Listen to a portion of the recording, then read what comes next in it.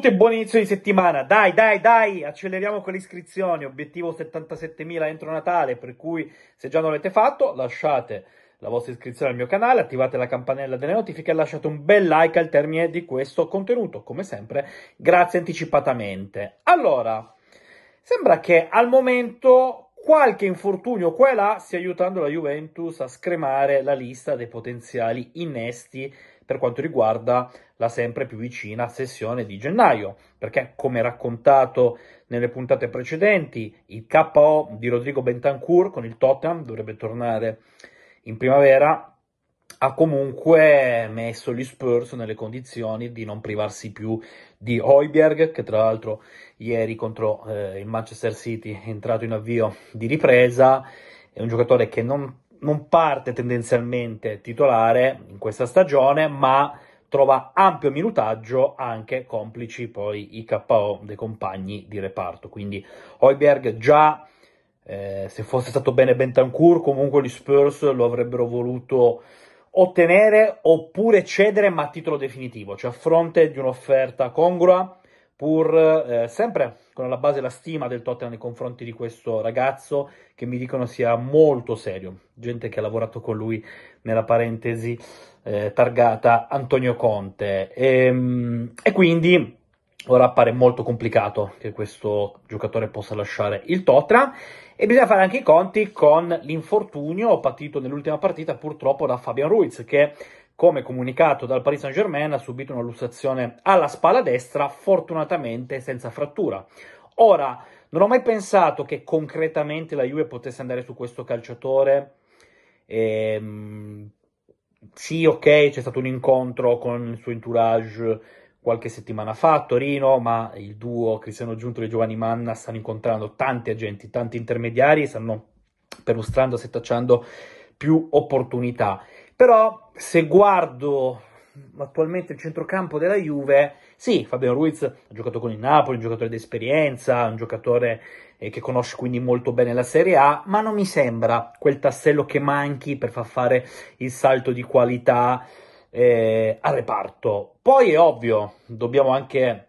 chiarirci, nel senso, a gennaio i big non si possono acquistare e credo che in Italia i big non li vedremo ancora per parecchi anni, perché se arriva gente di cartello o sono scontenti di lusso o calciatori che hanno già dato il meglio e arrivano in Serie A per effettuare gli ultimi anni di carriera o per cercare di rilanciarsi, però noi non possiamo competere con i grandi nomi che infatti vengono associati ai club che vanno per la maggiore. In Inghilterra, in Spagna e ovviamente ha preso banco anche il mercato saudita, perché credo che soprattutto in estate ci sia l'intenzione di fare ulteriormente la voce grossa, eh? quindi siamo davvero con eh, gli occhi aperti. Noi viaggiamo all'insegna della, sì, della sostenibilità, la parola più cara citata da quando è arrivato da, eh, proprio parole di Cristiano Giuntoli, ma in generale di tutto lo Stato Maggiore Juventino. Detto questo, secondo me pur dovendo per forza di cose sposare un concetto di sostenibilità, conti alla mano, si possono fare cose interessanti. Eh, io continuo a sostenere che il centrocampista a gennaio non debba essere un riempitivo. Ok, le occasioni ma non acquisire tanto per, per fare numero, perché non avrebbe senso. Il giocatore che deve prendere la Juventus a gennaio dovrà tornare utile anche se al termine dell'annata la Juve dovesse cambiare guida tecnica. Quindi, eh, ovviamente, abbracciando i concetti calcistici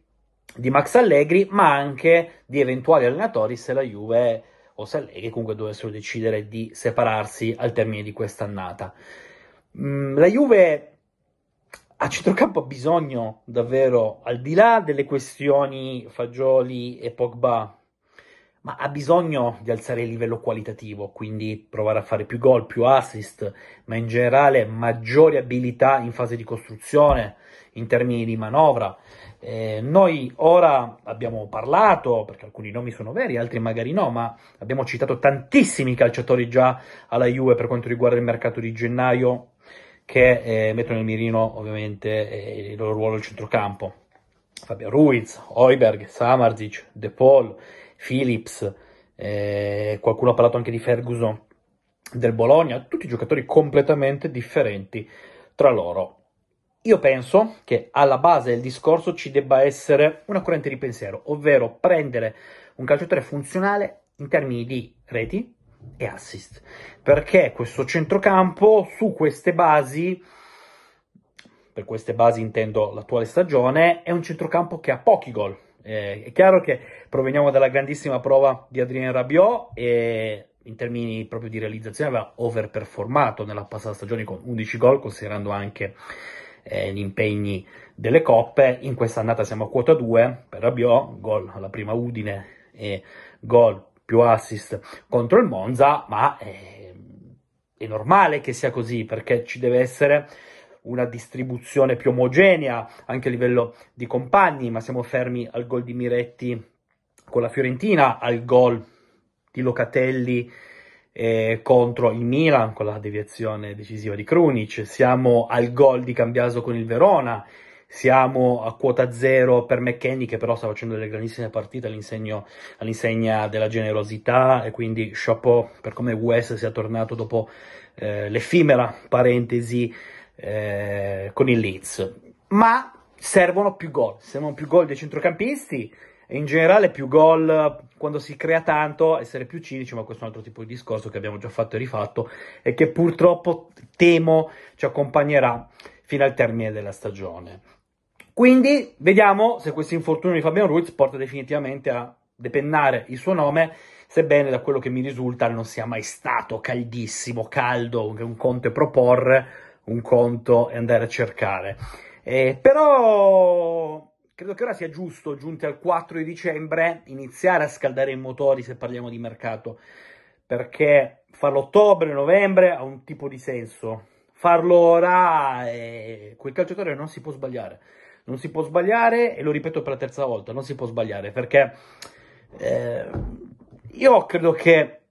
l'obiettivo vero di questa stagione sia non avere rimpianti. Cioè, con le possibilità attuali, con l'organico attuale, con quello che puoi fare a livello di sforzi a gennaio, avere una macchina che ti consenta di poter performare in determinata maniera, ben conoscendo i propri limiti. Però, a proposito di limiti, è evidente che ci siano, siano anche molteplici a livello strutturale. Quindi non è che, e qua sono d'accordo con Allegri quando dice le squadre si fanno in estate, a gennaio non puoi fare rivoluzioni, ma si possono eh, centrare delle possibilità, appunto delle opportunità, e il fatto che Giunto Le Manna da agosto, da quando è iniziato il campionato, abbiano potuto osservare quotidianamente progressi e mancanze di questa rosa, mi lascia ben pensare che a gennaio, se verrà fatto qualcosa, per me verrà fatto, verrà preso, acquistato, inserito un centrocampista, eh, questo innesto eventualmente avrà il suo perché. Mm, non riempitivi, non si può sbagliare quel calciatore. E come vi ho detto, davvero il mio auspicio è che possa essere un nome spendibile anche per il futuro, cioè uno che prendi ora, che possa coesistere con l'idea di Allegri, ma che al tempo stesso possa essere anche un asset, un valore aggiunto, un calciatore importante eh, per le puntate che verranno, in quanto credo che da questo punto di vista non si scappi. La società deve fare la società. Poi può seguire indicazioni dell'allenatore, ma se ritiene che Timothy Weah abbia il potenziale per poter essere la Juve, per poter diventare un calciatore importante, Timothy Weah va preso. E infatti la Juventus, la scorsa, l'ultima, nell'ultima sessione, ha preso Timothy Weah, cioè eh, riteneva che si dovesse ovviamente necessariamente sostituire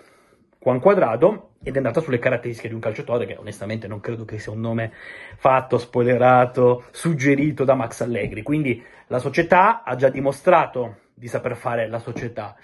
e a gennaio quell'innesto per me va fatto, deve essere fatto proprio per la questione numerica perché può capitare quello che è successo purtroppo con il Cagliari a Locatelli che quindi lo ha debilitato per la partita con l'Inter quindi non ce l'ha fatta sostanzialmente a giocare eccezione fatta per i minuti di recupero con, con, il Monza, basta una febbre, basta una semplice influenza e lì non si può scherzare, a maggior ragione se l'asticella si sta alzando e quindi NS responsabilità.